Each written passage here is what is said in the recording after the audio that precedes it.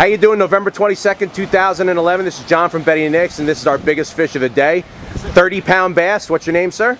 Vern, And Vern, where'd you get him? What'd you get him on? down the island on a Deadly Dick. And you said you had seven other keepers you threw back? Yes, sir. Nice. Uh, and uh, what's your dog's name? Stella.